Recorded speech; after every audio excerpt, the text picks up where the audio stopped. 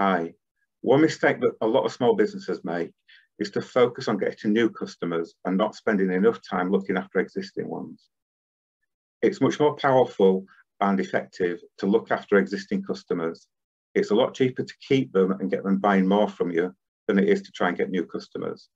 One way to do that is to have a customer loyalty scheme. So think about for repeat purchasers, can you offer a discount? It might seem an expense, but actually you're going to pay less money for a repeat purchase than you will for acquiring a new customer. And it's a lot less effort as well. If you're doing something like a loyalty card where you get stamps, don't do a card with 10 blank spaces on. Do a card with 12 spaces on, but stamp the first two. That way, the customer feels they've already got something of value and it makes them much more likely to keep coming back to you, buy from you again. And that increases their lifetime value, which increases your growth and your profits. So it's well worth doing. Thanks for listening.